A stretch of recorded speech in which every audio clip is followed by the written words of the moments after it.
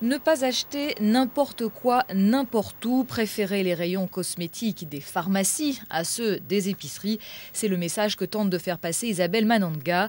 Fondatrice d'une association de consommateurs, elle croule sous les témoignages de femmes qui ont voulu se blanchir la peau et qui se sont retrouvées défigurées par l'utilisation de produits décapants. Moi, je parle cosmétique et je parle produits éclaircissant.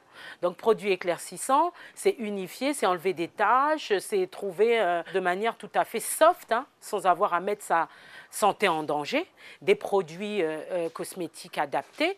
Mais certaines femmes veulent plus qu'éclaircir leur peau et elles se laissent donc tenter par des produits aux effets plus radicaux au risque de se retrouver ici, à l'hôpital Saint-Louis, l'un des trop rares endroits à Paris où l'on trouve de vrais spécialistes des peaux noires.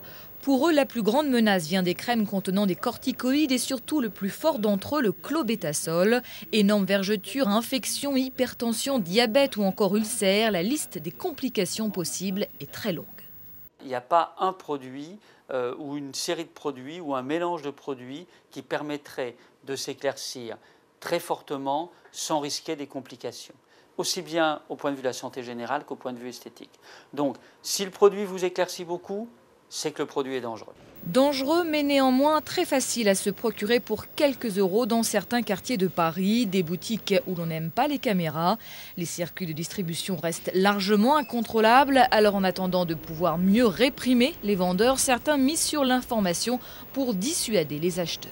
Ça fait des années qu'on vend ces produits euh, dans certains quartiers du 18e, dans certains quartiers du 10e, et jamais personne n'avait rien fait. Donc euh, euh, j'ai pris le parti de, mettre un peu les pieds dans le plat et de dire qu'on avait besoin de se mêler de cette affaire. Et donc on a décidé de lancer une campagne de sensibilisation à Paris. Cette campagne est une première du genre. Selon la mairie de Paris, environ 20% des femmes d'origine africaine vivant dans la capitale utiliseraient des produits éclaircissants potentiellement dangereux.